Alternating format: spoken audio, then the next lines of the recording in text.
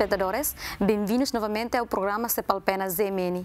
Como já sabemos, este programa tem como objetivo apresentar-vos as últimas informações ocorridas na comunidade dos países de língua portuguesa. Iniciamos com a primeira informação.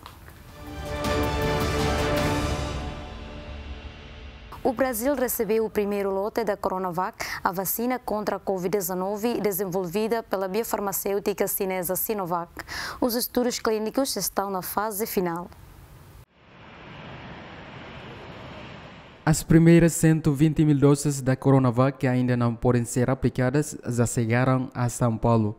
O governo fechou com a Sinovac um contrato para receber o total de 46 milhões de vacinas, o equivalente a toda a população do estado. O avião de carga da companhia aérea turca Turkish, que transportou as vacinas, saiu da China na passada segunda-feira e aterrou ao início da manhã em São Paulo. Além da importação de doses da vacina, o acordo do governo de São Paulo e a biofarmacêutica chinesa também prevê a transferência da tecnologia da vacina para o Instituto Butantan, esta entidade pública e coordenadora dos testes clínicos no Brasil, com a empresa. Os ensaios estão a ser realizados no total de 13 mil voluntários no país.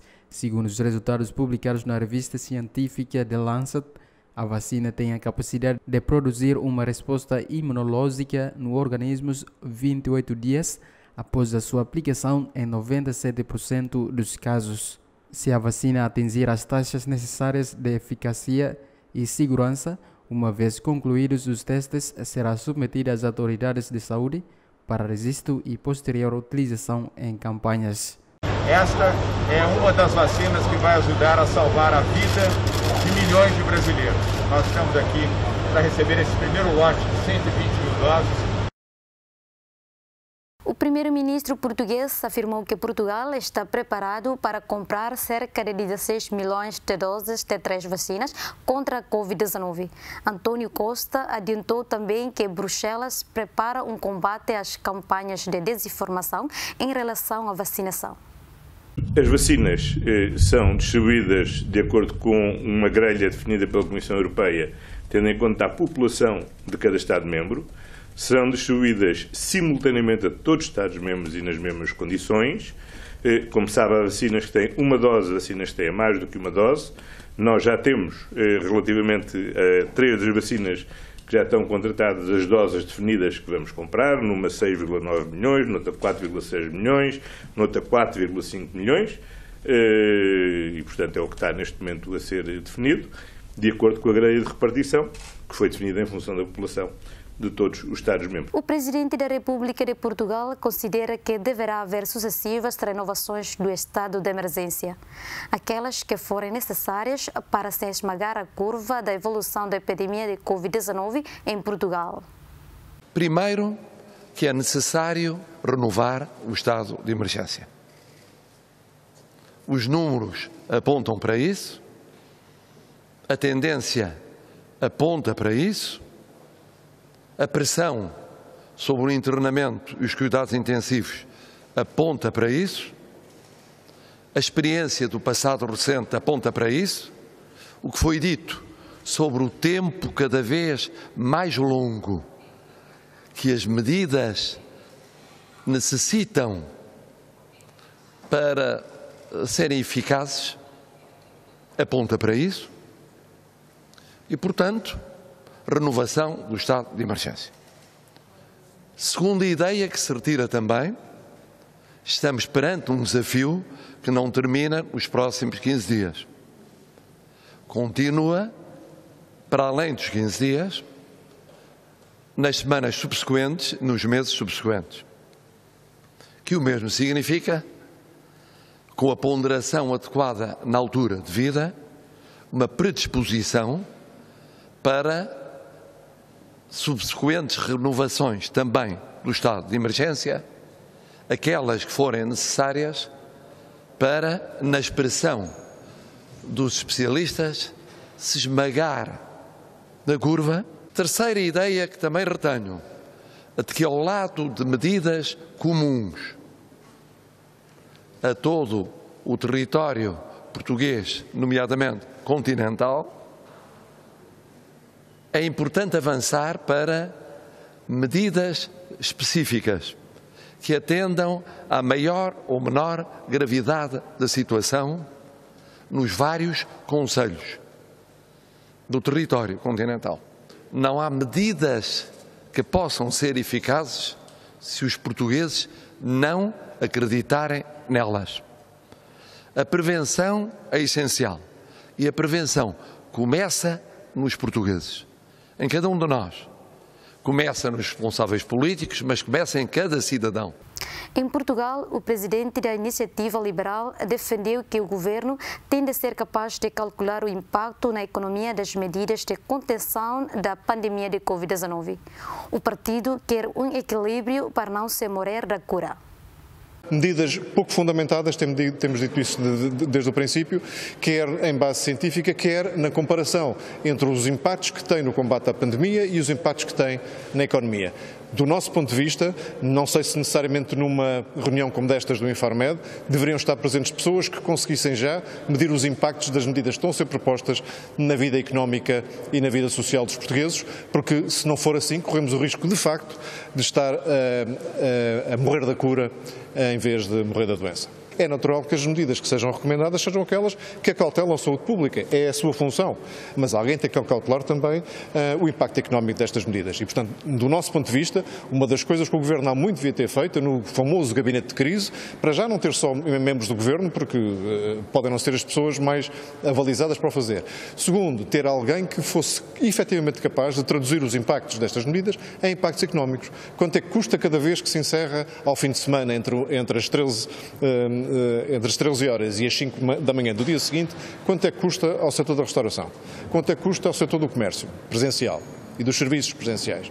Isso hoje em dia, com a experiência que já temos de vários, de vários tipos de tentativas, já seria possível conseguir e ninguém está a fazer esse esforço. Conclusão, tomamos medidas com base ou no, na preocupação que temos naquele momento, no medo, mas com muito pouca capacidade de conseguir equilibrar aquilo que desde o princípio dissemos que era fundamental, proteger a saúde das pessoas, mas proteger, proteger, também, proteger também a economia do país.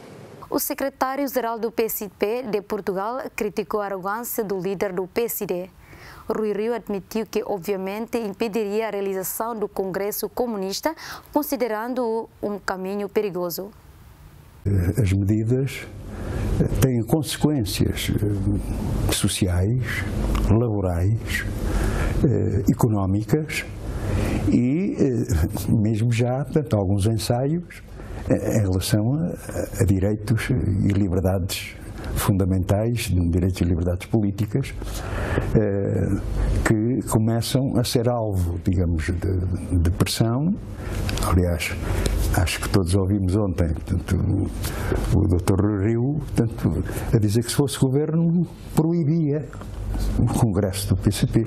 Foi pena não explicar como. Uh, se era por a Constituição de quarentena, eh, se era, portanto, aceitar passivamente que, eh, apesar do agravamento no plano social, portanto, no plano laboral e económico, se acrescentasse também, portanto, esse princípio fundamental do exercício das liberdades no nosso país. É um caminho perigoso, reconheça-se. Eu percebo, tendo em conta a situação interna que está a viver, eh, procurar tirar ao lado, tanto como manobra de distração, na medida em que eh, tem grandes responsabilidades, em que um setor da extrema-direita, neste momento, esteja a ser o centro da direita. Eh, com, digamos, eh, eh, um papel secundário, pelo menos que isso, por parte do CDS e agora também o próprio PSD, um partido com aquela dimensão, mas neste momento perdeu, portanto, esse centro da direita, recorrendo tanto a esse partido de extrema-direita. Em Portugal, o Bloco de Esquerda defendeu a necessidade de mais medidas e mais ação social para combater a pandemia de Covid-19, mas considera que devem passar pela responsabilidade do Estado e pela criação de mais direitos. O país vive neste momento ou atravessa uma situação epidemiológica preocupante. É essa a palavra. Como foi hoje demonstrado, existe neste momento eh, inúmeros conselhos no país com uma incidência eh, superior a mil novos casos nos últimos 14 dias por 100 mil habitantes o que é muito elevado. Existem, aliás, vários uh, conselhos até com incidências maiores, 1.200, 1.300, 1.500 novos casos por 100 mil habitantes, o que é muito elevado. E claramente, perante esta situação, eh, só pode haver uma conclusão, é de que é preciso mais medidas.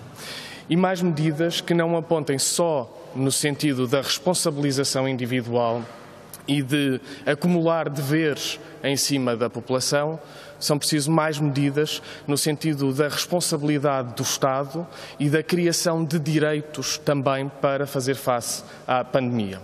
Nós acreditamos que só com mais Estado só com mais ação social também, só com criação de direitos eh, para a população é que vai ser possível enfrentar e derrotar esta, esta pandemia. Também nos foi dito que, por exemplo, no que toca às unidades de cuidados intensivos e no que toca ao Serviço Nacional de Saúde, neste momento como um todo, o maior problema até é os recursos humanos.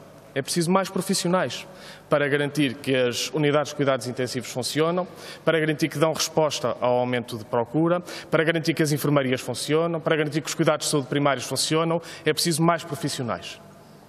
E mais profissionais não se faz com precariedade, não se faz com contratos de quatro meses que acabam e os profissionais vão embora, não se faz com, contrato, com concursos que são lançados e ficam desertos, como acontece, por exemplo, para os médicos. O Partido Ecologista Os Verdes de Portugal defendeu medidas que protejam os trabalhadores nos locais de trabalho e nos transportes públicos. Mariana Silva afirmou que essa segurança não está sempre garantida. Exige, por isso, o reforço dos cuidados primários de saúde. Consideramos que o mais importante que saiu desta, desta reunião é, sobretudo, o facto de sabermos que medidas eh, devem continuar a ser implementadas. O reforço do Serviço Nacional de Saúde, o reforço da proteção e segurança no transporte público, o reforço de lares e escolas para que todos estejamos eh, protegidos. Como sabemos, é fácil eh, dizer que em teletrabalho nós estamos protegidos e não, eh, e não estamos tão expostos ao vírus, mas nem todos os trabalhos nos permitem estar em teletrabalho. Por isso, o têxtil, o calçado, a construção civil, a indústria alimentar, todos esses trabalhos, a saúde, a própria educação, todos esses trabalhos exigem que saiamos das nossas casas e que enfrentemos a sociedade e a comunidade e possamos nos deslocar em segurança e estar em segurança nos locais de trabalho. Por isso, esta é uma questão essencial. É percebermos se estamos em segurança nos nossos eh, locais de trabalho, é percebermos se estamos em segurança segurança no transporte público e aquilo que nós temos visto é que nem sempre isto acontece. Por isso é necessário que as medidas também vão ao encontro eh, desta proteção e desta segurança tão necessária para proteger todos os portugueses e para que possamos, de alguma forma, fazer a nossa vida eh, de forma eh, cautelosa e, protegida. Outra das questões será uma, uma ideia que os verdes já trouxeram e que voltam a reforçar, que é o reforço dos cuidados de saúde primários, porque se nós estivermos protegidos, que se a nossa saúde estiver uh, protegida e se pudermos de alguma forma desenvolver anticorpos, o vírus não se tornará tão agressivo. E hoje isto também foi aqui colocado. E por isso é necessário também fazer este esforço de reforçar os cuidados de saúde primária, de ter, de ter também os centros de saúde abertos e disponíveis uh, para a população e para que possamos estar saudáveis e enfrentar o vírus de uma outra, uh, de uma outra forma. E por último, saudar todos os portugueses, porque hoje também foi aqui dito que os portugueses tomaram medidas de isolamento e algum cuidado nas deslocações, mesmo antes disto lhe ser imposto. Por isso, os portugueses perceberam que, ao, com o aumento dos números, era necessário protegerem-se e proteger todos aqueles que estão à sua volta e uh, esta, estes comportamentos foram tidos por, por alguma parte da população. E um último esforço, ou melhor, mais um esforço por parte da população para que possamos realmente fazer frente a estes números. O presidente do Chega de Portugal mostrou-se confiante na ação judicial interposta no Supremo Tribunal Administrativo para reverter as restrições de horário dos restaurantes. André Ventura criticou o presidente da República e chefe do governo por acenarem com o fantasma do confinamento. O que foi hoje apresentado e que os senhores assistiram em parte também, mostra que há dois elementos preocupantes e um deles é a quebra na confiança das instituições. Ou seja, os portugueses estão a confiar menos na saúde. Há eh, cerca de 40% de portugueses que tendem a confiar cada vez menos na capacidade de resposta dos serviços de saúde. Portanto, há aqui um problema de confiança. Eu questionei no final o Governo também sobre isso e os especialistas. Há aqui uma questão de comunicação que não está a passar e que pode ajudar ao colapso do sistema tal como o conhecemos. Porque uma das, uma das bases fundamentais do sistema é a confiança. Se essa confiança começa a ser colocada em causa, podemos ter um problema uh, real. O número de consultas desmarcadas, de consultas adiadas, continuam a, continuam a, a, a representar um universo muito vasto vasto. Há milhões de portugueses que desistiram de ir a centros de saúde ou porque estão fechados ou porque têm medo de contrair Covid. Há milhares de portugueses que viram as suas consultas adiadas com a complacência do Governo, que permitiu suspender serviços de saúde eh, não essenciais e urgentes, e isto está a agravar a percepção geral em relação à situação de saúde. A questão da restauração, conforme foi questionado ao Sr. Presidente da República, eh, os estudos indicam que a restauração nem sequer é o setor mais eh, vulnerável em termos de disseminação e propagação do novo coronavírus. O que significa que estamos a impor restrições absurdas ao fim de semana, sobretudo algumas durante a semana, com um impacto económico fortíssimo na restauração, na hotelaria, nos eventos, nos vários setores, sem que haja uma justificação para isso. Aliás, os estudos tendem a demonstrar até que há menor risco de infecção em alguns destes espaços do que em contexto doméstico. E, portanto, temos que perceber muito bem que empregos é que estamos a destruir e que atividades é que estamos a destruir. Eh, o Chega não deixa de condenar que quer o Sr. Presidente da República, quer o Sr. Primeiro-Ministro voltem a lançar e a deixar no ar o fantasma de um confinamento geral absoluto. Quer o Sr. Presidente da República, quer o Sr. Primeiro-Ministro voltaram a deixar no ar essas hipóteses.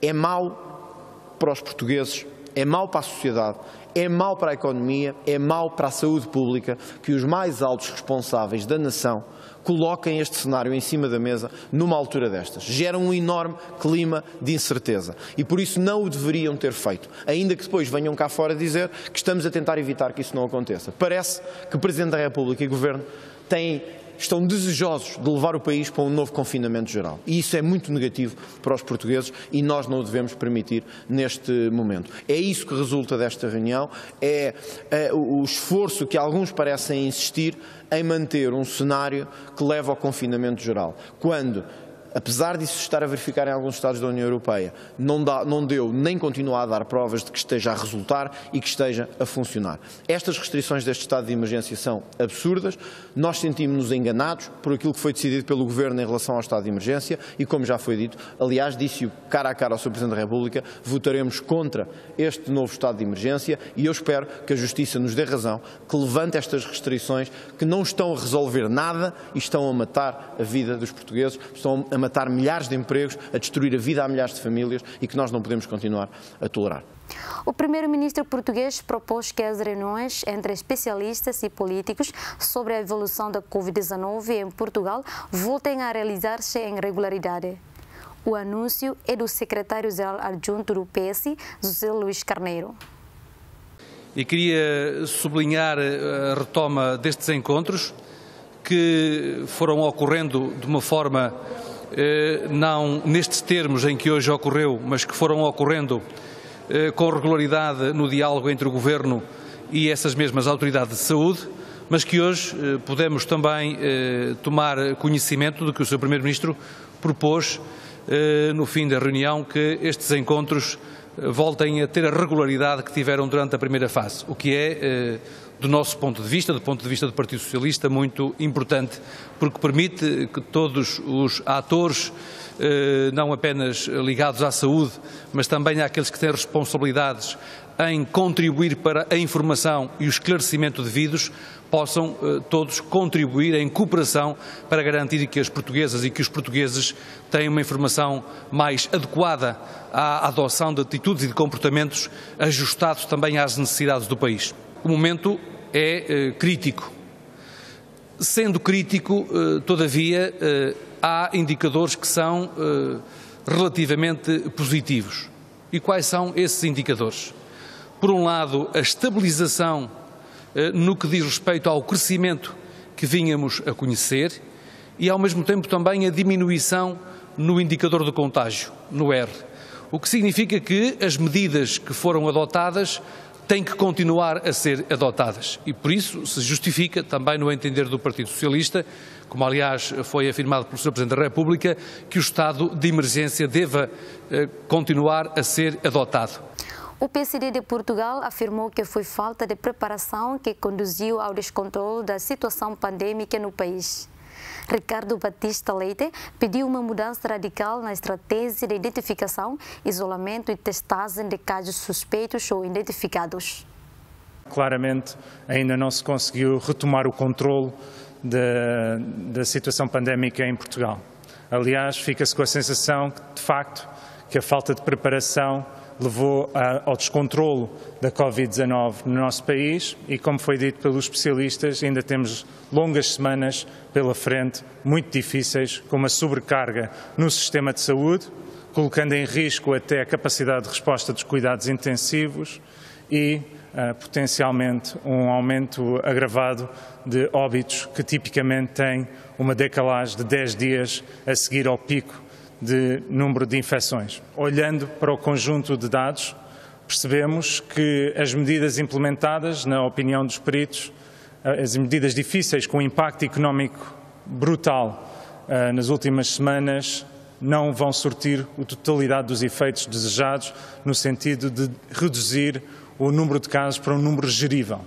E mais, somos de facto uma vela, um barco de vela a navegar às escuras e sem bússola no sentido em que, quando olhamos para os dados efetivos, só na última semana 80% das novas infecções uh, decorreram sem que se tivesse sido possível detectar a ligação epidemiológica, ou seja, compreender como é que estas pessoas se infectaram.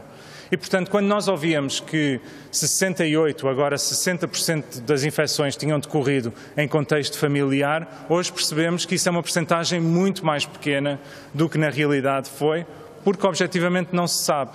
E quando não se sabe, não se conseguem tomar medidas assertivas. Mas, quando nós olhamos para aquilo que são as expectativas em relação à vacinação, há neste momento mais incertezas do que certezas.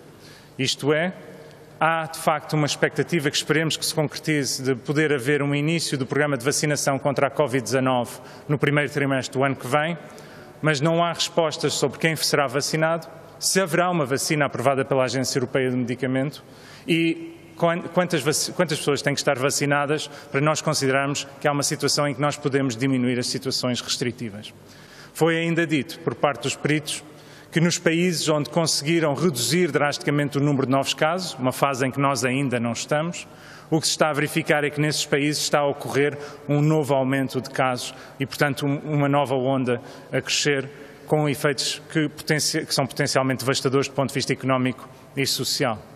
E por isso, a nosso ver, é fundamental que o Governo faça o que é preciso para controlar a pandemia, inverter o número de novos casos para uma situação que seja controlável pelo sistema. Nós temos visto da parte do Governo, muitas vezes, uma tentativa de olhar só para os países que têm respondido pior, têm olhado para a Bélgica, têm olhado para a Espanha, têm olhado para a Itália. Nós apelamos é que o Governo olhe para os países que têm conseguido responder melhor, que evitaram uma segunda onda como aquela que nós estamos a viver. A Dinamarca, a Alemanha, a Finlândia, a Noruega, casos que têm, de facto, práticas diferentes e que vão muito em linha com aquilo que o próprio PSD, por via do Conselho Estratégico, propôs, para garantir que, depois de controlar esta onda, o país não entre em 2021 numa situação em que entramos e saímos em confinamentos que, sinceramente, não temos nem capacidade, nem recursos, nem, eh, diria eu mesmo, da parte da população, eh, já eh, qualquer capacidade para aguentar medidas sucessivas. Sem perceber as razões subjacentes às mesmas. Em Portugal, a líder parlamentar do PAN considera que o estado de emergência não deve ser desgastado, mesmo sendo necessário ao contexto atual. Defendeu que o Parlamento pode e deve assumir um papel regulador de certas medidas. Há de facto ainda um longo caminho a ter que ser feito. Aqui não podemos deixar de apelar àquela que é a responsabilidade individual e o comportamento de todas as pessoas, porque efetivamente nós estamos a lutar contra um inimigo comum e somos todos essenciais para combater esta pandemia. Isto não significa que haja uma desresponsabilização do Estado, muito pelo contrário, é fundamental reforçar não só o Serviço Nacional de Saúde, uh, os contratos que já foram abertos e que não foram preenchidos, uh, nomeadamente ao nível dos especialistas de saúde pública uh, e que só concorreram médicos, e é fundamental que o Governo vá chamar também a este concurso outros especialistas, nomeadamente os enfermeiros, uh, entre outros, para que se possa dar resposta não só em matéria de prevenção, mas também em matéria depois daquilo que é a capacidade de resposta. Mas outras áreas têm ficado para trás. Não nos podemos esquecer que o facto de estarmos focados neste momento no combate à Covid-19 tem deixado para trás muitas consultas, muitas outras áreas da saúde, nomeadamente a nível também do combate, por exemplo, ao controle da legionela, eh, o controle da qualidade das águas, e é por isso que o PAN tem defendido que é fundamental reforçarmos também os técnicos de saúde ambiental. Para além desta questão, e algo que ficou bem latente daquilo que foi hoje as declarações dos vários especialistas nesta sessão, também é preciso que haja uma resposta concertada com outras áreas, nomeadamente uh, a nível daquilo que é os quartéis e as Forças Armadas, porque se existe uma incapacidade ao número de camas e de resposta do Serviço Nacional de Saúde, para o PAN a resposta não passa pela requisição civil, como até aqui tem sido uh, avançada por outras forças políticas, mas sim por aquilo que já foi uma opção da contratação, não devemos diabolizar o papel papel dos privados também na resposta uh, aos problemas de saúde, mas acima de tudo por aliar aquilo que pode ser um papel absolutamente fundamental das Forças Armadas nos equipamentos militares, dos hospitais e também da criação de mais hospitais de campanha para dar resposta a esta pandemia. Apesar deste caminho que até aqui foi feito, há também aspectos que são preocupantes, nomeadamente naquilo que é um desafio que vamos ter pela frente na renovação do estado de emergência. Tem-se falado muito naquilo que possa ser a limitação dos direitos, liberdades e garantias, mas tem-se falado muito pouco no papel que a Assembleia da República pode e deve ter. O estado de emergência é um estado absolutamente excepcional, que não deve ser desgastado, a democracia também não deve ser desgastada. Não significa isto que ele não seja necessário a este tempo, mas há um trabalho de casa que não tem sido feito e esse passa por regular aspectos da nossa vida em sociedade, como o teletrabalho, garantir que nos conseguimos adaptar a este contexto pandémico e também àquilo que tem que ser as restrições e as limitações da circulação e, portanto, é este o caminho que o PAN irá defender para que todos possamos, de facto, contribuir para que, quando existem os ditos picos nesta onda uh, da crise sanitária, possamos estar mais preparados e possamos antecipar, porque há algo que é aqui absolutamente fundamental. Nós temos neste momento a mola na nossa mão e podemos, de facto, contribuir para a achatar ou para permitir que ela nos fuja do controle. E se não houver este esforço coletivo, a par dos apoios do Estado àquilo que é a crise sanitária e socioeconómica, dificilmente vamos conseguir uh, combater esta crise antecipadamente e mitigar aquilo que possam ser os seus efeitos. Também em Portugal, o dirigente comunista Jorge Pires sublinhou que o setor da restauração é responsável por apenas 2% dos contágios com o novo coronavírus, citando o estudo, mas sem precisar qual. Nós tivemos ali muitas horas a ouvir a necessidade de medidas. Medidas, mais medidas, mais medidas. Todas elas no sentido de condicionar os direitos das pessoas, de condicionar a mobilidade, apontando muito no sentido do confinamento e praticamente não ouvimos nada sobre medidas no plano sanitário que são fundamentais eh, para combater esta, esta, esta doença. Desde logo, eh, há um aspecto que nós, o PCP, há muito eh, que andamos a falar nela.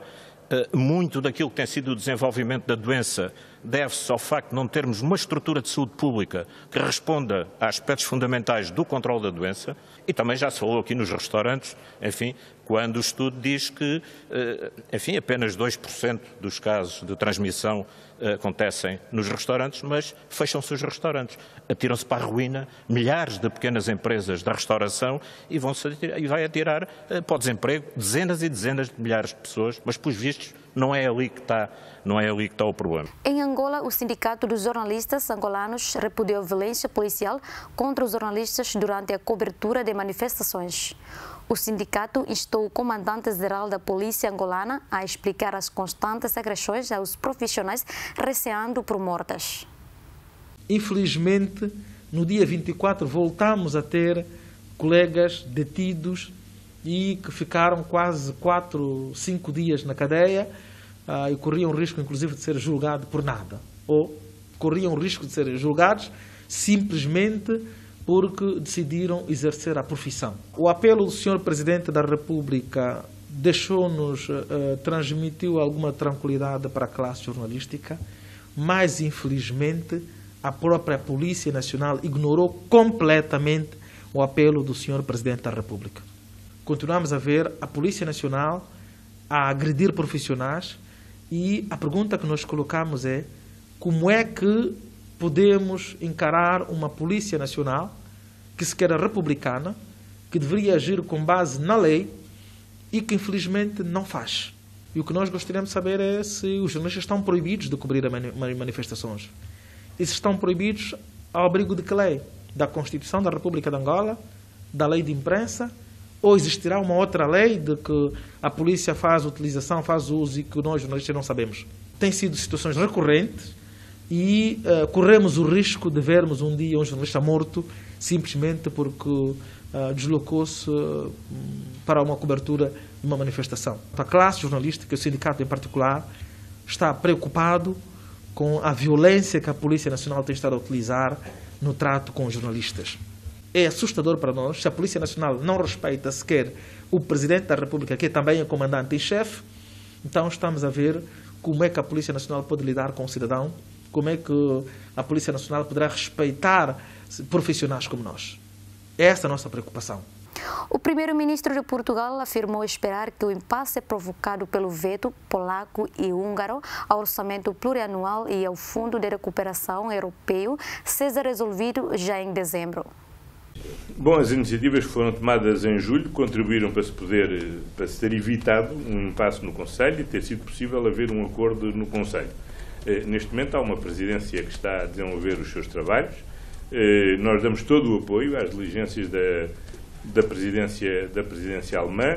Eh, tenho tido a oportunidade de falar com a minha colega sobre o conjunto de iniciativas que estão em curso. Temos trocado ideias e temos assegurado e procurado assegurar que este impasse possa ser ultrapassado.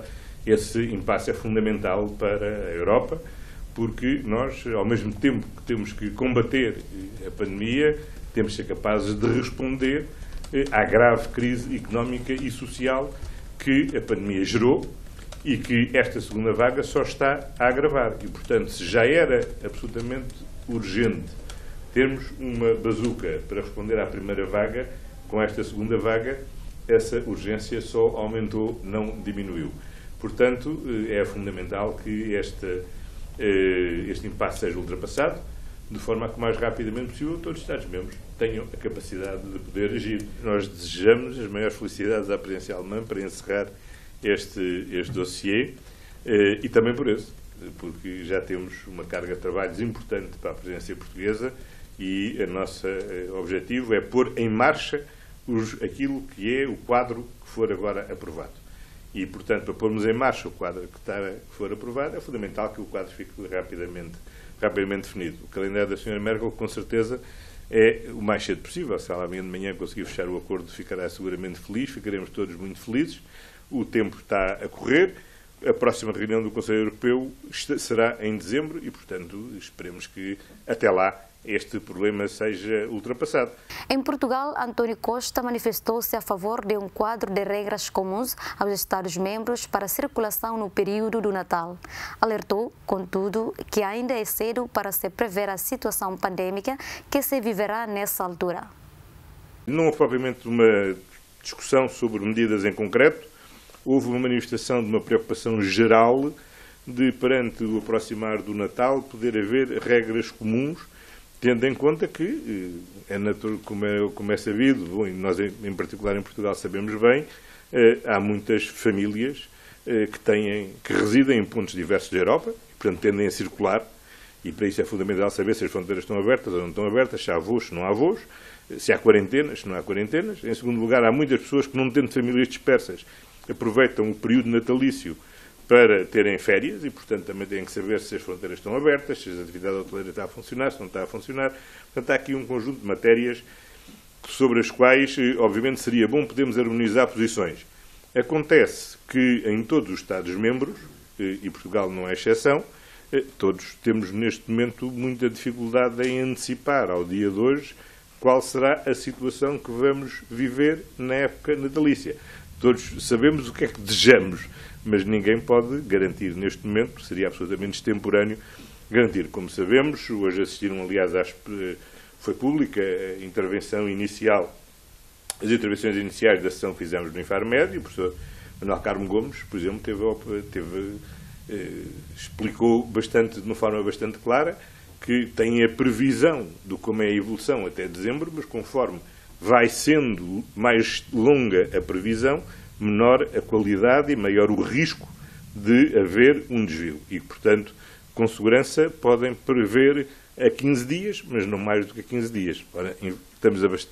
É, eu sei que o Natal é quando o homem quiser, mas ainda faltam mais de 15 dias para o Natal e, portanto, infelizmente ainda não é possível, neste momento, antecipar totalmente as medidas que possam vigorar nessa altura. Foram as informações dadas nesta edição. Até a próxima.